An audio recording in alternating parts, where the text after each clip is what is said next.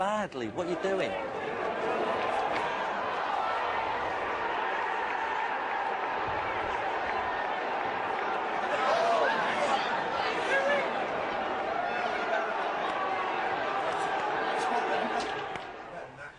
What is it? Don't know. Don't know. Rubbish. No point Yeah. being a good footballer if you're going to ruin it with all that. Uh, yeah, well, of course, we rang Lee up to ask him what the hell he was doing. My mate who scored it, Andy Robinson, you know, the one who looks like Orville. Well, we roomed together, and before the game, we were messing around in the room, having a bit of a laugh, and we started doing this dance. We decided if he scored, we'd do the dance as a celebration. It's not an excuse. Can you imagine that? Can you imagine that?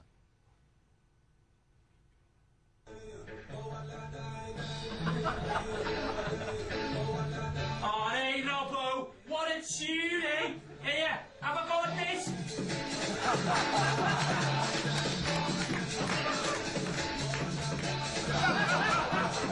it, lad. Only you're going.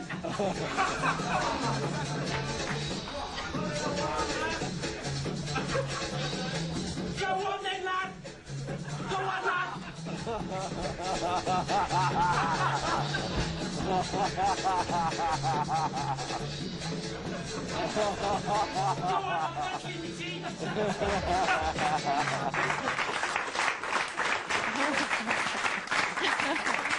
Uh, in fairness to Lee, he did redeem himself a little later on when he scored. This is this is cooler, Lee.